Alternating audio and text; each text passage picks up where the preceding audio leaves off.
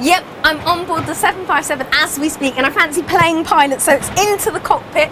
And here we have Senior First Officer Michael Griffin. Hi, Michael. Hi, Konnie. And I know that he's Senior First Officer because he's got three stripes on his shoulder. So tell me, Mike, do you know what all these buttons do? There's so many. Yes, I do. Every single one. Yes. What do these ones do? Well, this is the autopilot control here that we use to uh, fly the aeroplane when we uh, need a rest. Ah, so this is as you put your feet up and it does its own flying. Well, we'd get bored if we had to do all the flying. Ah, charming.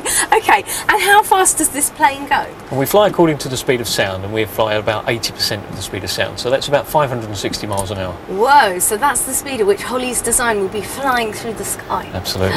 Very swift indeed. And talking of Holly, I can see Holly down there along with our other competition winners, Nicole and Grace, and of course the lovely Simon Thomas. Yes, Konnie, and all the girls are standing on the tarmac at the moment, but tomorrow they will be inside the plane flying on a day trip to Edinburgh in Scotland as part of their prize and then back down here to London. And girls, as you fly over the country, will your friends be giving you away from the ground?